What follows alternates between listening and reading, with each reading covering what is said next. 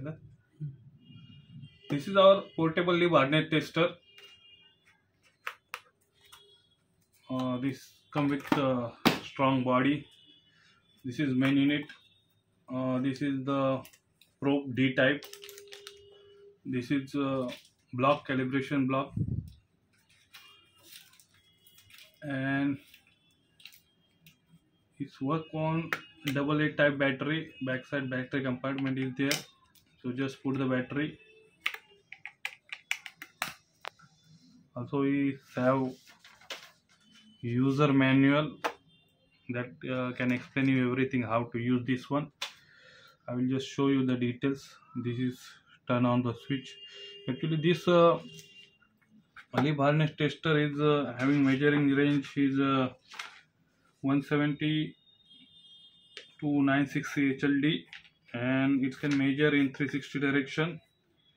Also the scale in we can measure the scale in HL HB HRB HRC HRV HV and HS so different uh, scale you can measure. I show you that's one now. So this is turn on just turn on the this switch on off switch just on off.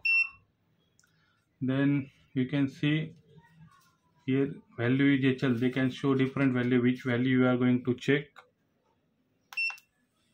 This this is the uh, backlight button that uh, if you are going to check in any space or area where not enough light you can turn on the backlight.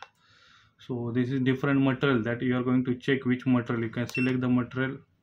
Now it is cold work tool steel stainless steel glazed cast iron nodular cast iron cast aluminium alloy copper zinc alloy copper aluminium alloy rod copper, rod steel steel cast steel okay so different scale this is H L this is H V H B H R C H S H R B H L now ठीक है?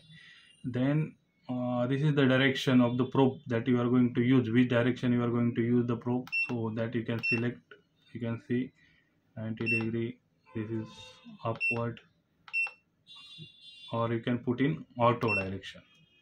Normally we are using uh, downstairs uh, downside then we can use the downside see? Then how to use this one? Just you can see this one just put plug the probe and once you plug the probe this is the actual block. It's actually heavy. It's mentioned here. 796 HLD okay? So you just press this now back side. And press this you get the what is the HL value? 796 this is 796 798